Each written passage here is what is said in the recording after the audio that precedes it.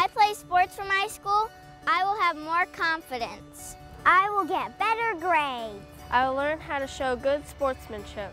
I will be more physically fit. I will learn how to handle wins and losses in sports and in life.